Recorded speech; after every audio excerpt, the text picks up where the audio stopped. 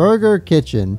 Not a very inspired restaurant name, in my personal opinion. It's kind of like naming a restaurant Italian restaurant. But name aside, this episode of Kitchen Nightmares was very frustrating to watch because of how the owners of the restaurant treated their son. We're going to take a look at what happened in the episode, what happened after the episode, and how Alan Saffron, one of the owners of the restaurant, has ties to the Australian criminal underground. But let's briefly look at what happened in the episode. Burger Kitchen is located in Los Angeles, California, and run by the owners Alan, Jen, and their son Daniel. And the kitchen is run by David Blaine. No, not that one. This one.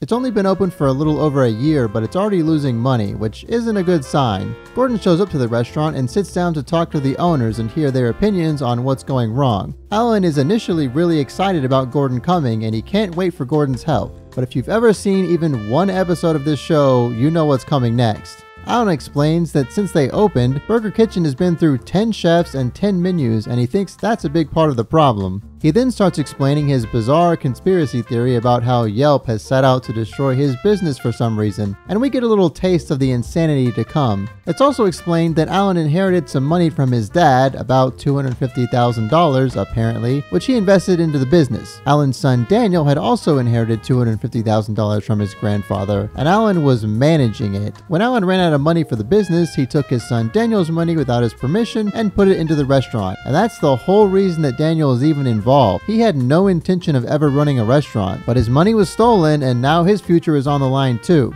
But now it's time for Gordon to try the food that Alan rated 4 out of 5. Gordon tries the food and of course he hates it. Most of his burgers came out raw and he said the Australian meat pie was bland. Alan is completely incredulous that Gordon wouldn't like his food. And as per the show's formula, Gordon wants to talk with the chef and the owners. Here it becomes very apparent that David Blaine and the owners hate each other, especially David and Jen. As per the usual, the chef says the food was bad because he has to cook it the way Alan wants, but Alan and Jen say he's responsible for the bad food. Jen and David get into a huge argument and eventually Gordon decides to try and find out if David's got the magic or not by asking him to cook a burger exactly how he wants to. But Alan is just so convinced that his food is great that he hops back on the grill next to David and cooks his own burger for Gordon to try again. Gordon tries Alan's burger again and says it's garbage. He then tries David's burger and says it's great, and Jen looks really pissed about that. She and David absolutely despise each other. Jen tries David's burger and fake coughs to try and make David look bad. But the conversation quickly devolves back into arguing over who's responsible for the poor food, and Jen gets pissed off and just leaves. Gordon follows her outside and finds her just awkwardly standing by a bush. She explains to Gordon that she's the victim and David's a bully, and Gordon finally convinces her to come back inside. The whole time this is going on, Alan is just sitting inside the restaurant by himself eating the rest of the burger that Gordon didn't like. It keeps cutting back to him eating, and it's comedy gold. But next it's time for the dinner service part of the show. If you thought things were contentious before, now Alan's son Daniel and his girlfriend are going to be working with Alan and Jen all at the same time so you know it's gonna go well. Right away, there's confusion in the kitchen. David Blaine, the head chef, is confused by the ticket system, and Daniel tries to help him, but he just seems to get more confused and annoyed. Eventually, David and Daniel get into a huge argument, and after David threatens Daniel, Daniel snaps and fires him on the spot. Yeah, I think making casual threats of violence against your boss is probably not the best idea. I feel really bad for Daniel. It really seems like the stress of everything going on has worn him down to the point that he's totally out of patience. Gordon is obviously not happy with this development, and the kitchen falls even further into chaos. Orders keep coming back from the kitchen undercooked. Why does every single thing from this kitchen seem to come out undercooked? You'd think that at some point, someone would figure out to cook it longer. But then David Blaine magically reappears and starts demanding the payment he's owed before he leaves, which causes a whole nother dramatic scene. Okay, so throughout the whole episode, David keeps making these accusations of drug and alcohol abuse to everyone, and they always seem really surprised. Like, I think he's literally just making up shit for no reason. That, or this is the family with the worst substance abuse problem on earth. I counted nine different times throughout the episode that he made some kind of accusation of drug abuse, or made some kind of reference to drugs. Why is he so obsessed with drugs? One specific insult that he keeps throwing around is that Jen is taking Prozac, which is a medication that's used to treat depression and panic attacks, among other things. Let me just read you a few of these quotes here. I think all of the problem is instead of putting sugar in that coffee, put a little Prozac in it. And then when he came back to get his check from Alan and Jen, he said, Jen, take 20 bucks out and go buy a prescription of Prozac. Little Prozac will go a long way. Later on, he said, I'm just telling her she needs Prozac. I'm telling her the truth. He kept going on and on about Prozac throughout the entire episode. Who just starts making up accusations of substance abuse to try and roast them? And if she really is taking Prozac, kind of a dick move to make fun of her for that. Yeah, that's how I would feel in that situation too. Prozac really should have sponsored this episode. That's a missed opportunity. David keeps making accusations that Jen is the cause of all the restaurant's problems, even though he couldn't get a burger out of his kitchen properly cooked. While Jen writes David a check, but Alan and Jen don't have the money for the check, so they ask Daniel to pay him, and that, understandably, pisses off Daniel's girlfriend. She literally snatches the check out of David's hand, which causes Alan to get pissed off at her and yell at her, because how dare you stand up for my son when I take advantage of him? But the check eventually gets handed back to David, and he leaves like a cringy child throwing a tantrum. Amid all this chaos, the kitchen has been sending out undercooked food, and Daniel has an emotional breakdown due to all the stress, and his dad asking him to put even more money into his business. But after Gordon reassures him, it's now time for the come to Jesus part of the episode. Gordon gets the owners and all the staff together in a theater, and he reveals that this crowd of people he's invited are in fact the Yelpers that Alan was so pissed about earlier. What's with people on this show thinking that Yelp is conspiring against them? Do they not understand how Yelp works? Anyone can write a review. Why would people conspire against you? So the Yelpers each give their review in person, and Alan sits there and pretty much looks pissed about every criticism.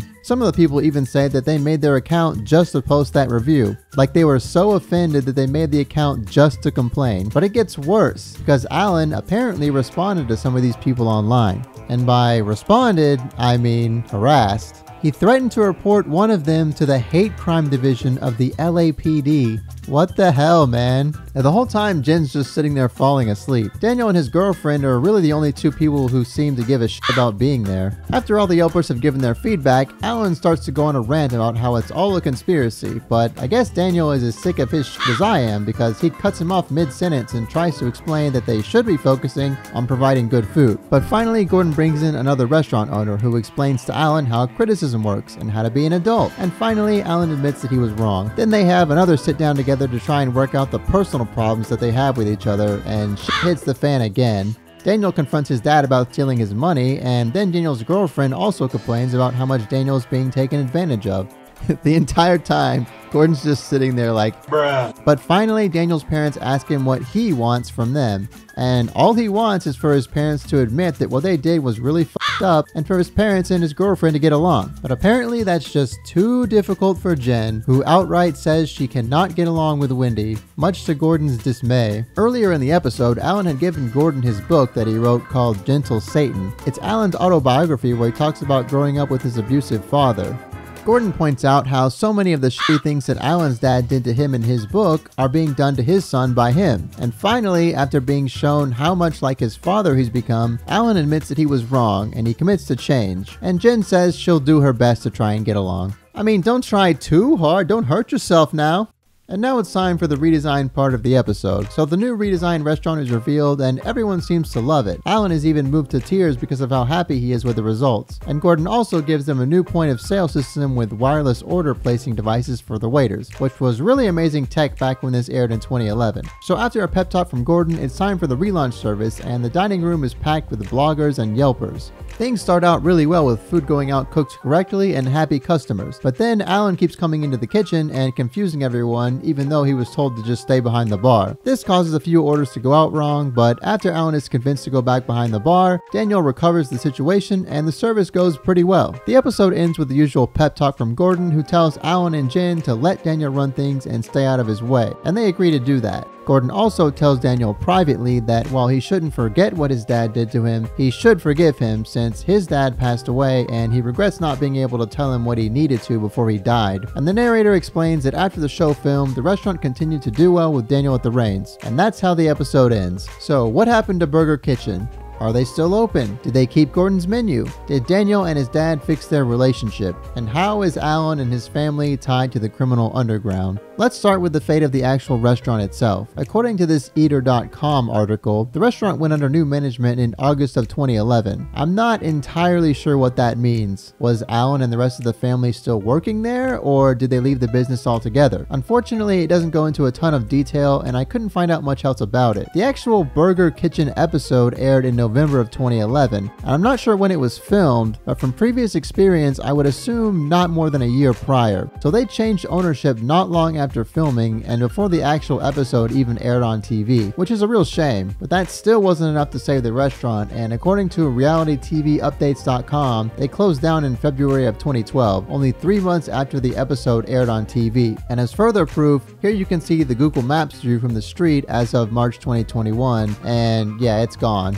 So, what happened to the family members? Did Alan and Daniel really reconcile their differences and make up? Well, I think our answer to that comes on September 9th of 2013 when Daniel filed a lawsuit against his dad for either fraud or breach of contract. Not entirely sure there. I am not a lawyer. Unfortunately, there isn't much more information here, and I can't see the full docket without paying a bunch of money to this website, so we don't really know what the outcome was, except that it says dismissed other right here. There's also this timeline of events at the bottom here, but having no legal background, it doesn't mean much to me. If any lawyers are watching and can share some insight on this, then please leave a comment down below. But based on that, it's pretty obvious that the relationship between Daniel and his dad went back to how it was before the show was filmed, and I would say that's to be expected. You can't fix major problems like that in just a week, but it's still pretty sad. And unfortunately, on April 19th of 2020, Alan passed away from a heart attack as we can see here from his obituary.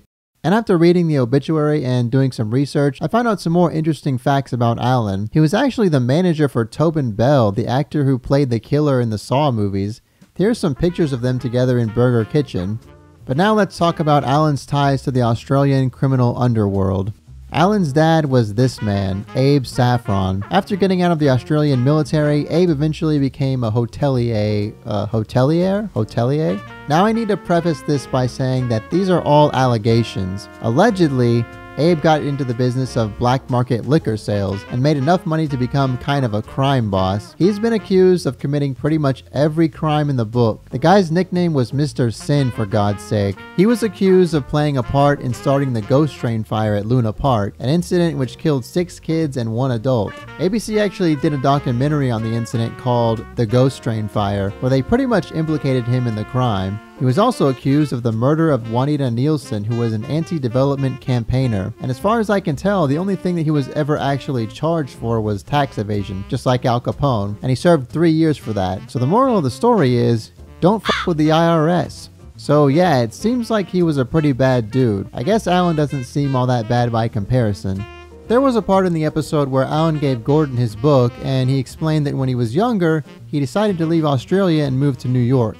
But his dad wanted him to be a part of his business, and he told Alan that if he left Australia, that he would cut him off forever.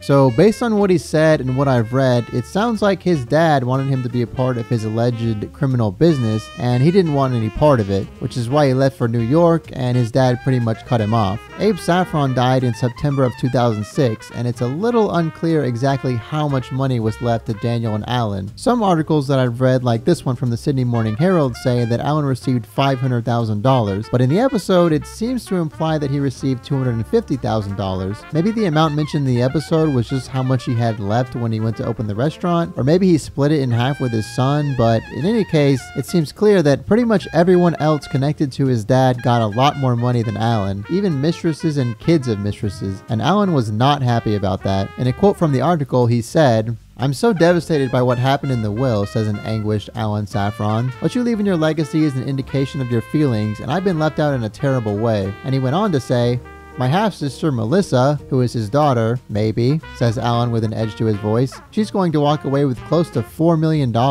I only get 500,000. I am the only son, the only legitimate child. Which I guess that is kind of an asshole thing to do to your own son, but at the same time, $500,000 is a lot of money to get just for free, you know what I mean? I'm surprised he got anything at all to be honest. There is tons more info out there about Abe Saffron. I could do a whole video just on him, but that's pretty much the short version. I wonder why Kitchen Nightmares didn't mention any of that or Alan's role in the movie industry in the episode. The info was readily available, so they must have known. Reality TV would usually take advantage of stuff like that to create more drama. My only theory as to why they didn't mention it is because maybe they didn't want to get sued for making claims about Abe Saffron, who was allegedly a very litigious person. Kitchen Nightmares was certainly no stranger to lawsuits. But now let's take a look at the rest of the family. All I could find about Jen is that in the obituary for Alan, it mentions that she's still alive and well. So what about Daniel and his girlfriend Wendy? Well, I couldn't find much of anything about Daniel's current whereabouts. He doesn't seem to have any kind of online presence. But one interesting thing I did find is what I think is the YouTube account of one of the employees from Burger Kitchen. Remember this guy who was in the kitchen the whole time? I'm pretty sure that's him. And here's a video of Daniel goofing off singing a song in the kitchen. Demons and serpents of sin, for your dastardly doings are wrought. For a knight in white armor will strike from within. God, I don't know the rest of it. This video was posted on December 4th of 2011, and if you remember, the restaurant changed ownership on August 31st of 2011, several months before then. So I don't know if he was still working there at the time, or if this video was just filmed much earlier and posted later. But wherever he is, I hope he's doing okay. And lastly, let's talk about Wendy. She also doesn't have much of any recent online presence, but I did find out that she was an actress. On her IMDb page, she has four movie credits. She played Lola in American Brown, Maybelline in Abby Singer, Nicole in Exist, and an unnamed security guard in Black Christmas, which might have been how they met since Alan was involved in the movie industry. But that's pretty much all we know about Daniel and Wendy. I don't really blame them for disappearing from the internet. They probably just want to move on with their lives, and it's kind of hard to do that when people keep recognizing you for one thing and bringing it up over and over again. But I guess that's all for this video. Thank you so much for watching all the way to the end. If you like this video, please consider liking and subscribing. If you have any suggestions, please leave them down in the comments below. Also, I started a Patreon not too long ago if you really want to help support the channel. But thanks again, and hopefully I'll see you in the next one.